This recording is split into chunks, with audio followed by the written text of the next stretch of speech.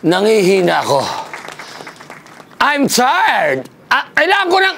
Kailangan ko ng swerte. Ate, kailangan ko ng tubig. Tubig, kailangan ko ng tubig. Tubig, tubig, kailangan ko ng tubig. Mga ka-scratchy, welcome back. Pasensya na kayo sa maswerte ka ba? Swerte ka ba with master? Ngayon, itutuloy na natin ang mga tips natin na para doon sa mga anti-malas, anti-heat stroke, sa sobrang init ng panahon ngayon, kailangan natin ito para magtuloy-tuloy ang swerte natin. Ha? Ang kailangan natin, pasensya na kayo mga ka-extrachi, kailangan natin ngayon ng tubig. Kaya tatawagin natin si Sweeting Swerte para tubig. Sweeting Swerte! Sabi mo tubig. Tubig! Tubig! Please, tubig! Tubig! Hey! Oh, sandali! Sandali! Sandali! Sandali! Ba't ko? Sabi ni Tubig! Master Tubig. Tubig! Iinom ako! Mm. Wow! Wow, ang genius mo. Natutuwa ako sa iyo. Napaka, napaka, kayo, kayo na magkaroon ng sweeting swerte. Kita nyo, kala ko si mapaliguan mo ko eh. Mainit ba, Master Sweetie? Ay, Master lang pala. Ay, ano Mainit yun, ba? Tanggalin natin to. Papagaganyan, baka magsialis kaya muna kayo lahat ng kuro dito. Pagkaganto na. Tanggalin natin to. Ay, ganun ba? Ay, sige, ay, sige. Ay, naku, pagkaganto naman, pagkaganto naman kahit na, kahit na mainit ang panahon. At teka muna, nakikita ko, salamat sa sweeting swerte ha. Ito na, ito na ang baso at syempre, ang isang pitsil na puno ng tubig na may yelo.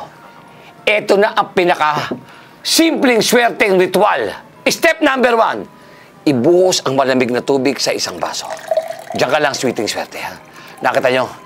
Ayan. At syempre, bago nyo inumin, idikit nyo muna ang mukha nyo sa, ay hindi, dito pala sa baso. Idikit nyo muna, ayan, para maramdaman sa mukha, sa batok, ayan, sa liig. Ah. Ah, Viva Max. Ay, di. Ah, ramdam na ramdam ko na. Ramdam na ramdam ko na swerte. Tapos, step number three. Bulungan ang tubig.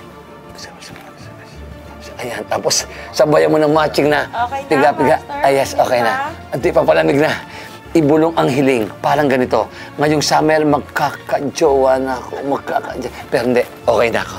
Okay na ako. Maraming salamat. At syempre, step number four. Laklakin ng isang basong tubig o inumin. Tandaan nyo, ganito pag inom dyan, oh.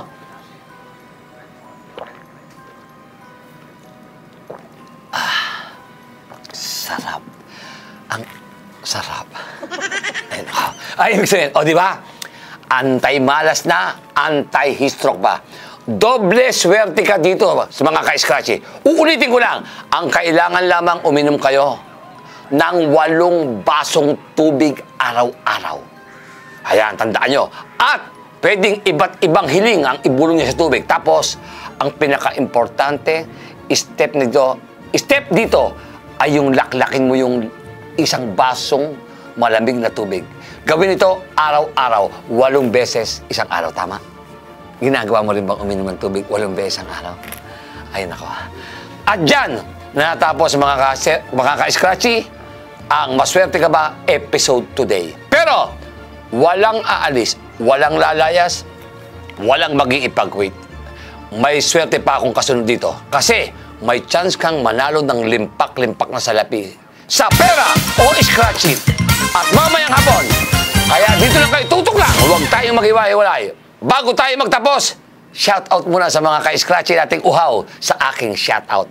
Walang humpay na sumusubaybay, lagi nakatutok kahit anong init ang panahon, tag-araw o tag-ulan. Kaya siyempre, number one, ako muna mabate, si Cecilia Calata. Susunod, si... Christy Barameda. Ayan. Susunod, Sheila May Llores. At akin naman, eh, walang iba kundi si Eri Jane Torres, Steve Andre Gosselt at si... Rachel Ann Soria. Wow. At isa, Marisa Descalzote. ayan, lambing naman talaga. At syempre, Ama po, Sola, Martin, at si Raul Angeles. At pagsampo, eh, walang iba kundi si... Myla Relao. Ayan, muli ito, ang nasinyong master ng kasabing, ang buhay ay parang scratchy. Minsan swerte, minsan mas swerte. Kaya mong ulitin yan. Sige, ikaw nga. Minsan. Ah, si- minsan swerte, minsan maswerte. Oo. Pwede bang, dito ka muna. Ayan. Kasi pag, salinan mo nga ako ng tubig. Ay, nako, naramdaman ko to. Napanood ko na ito eh. Nung, ayan, napakasarap uminom sa iniinuman namin ni Direk Isno. Yung may sisig tapos may ganyang waitress. na alam namin kasunod doon. Ano number mo? Go smart. Sarap. Ay, nako. nakikita kita, inuuhaw talaga.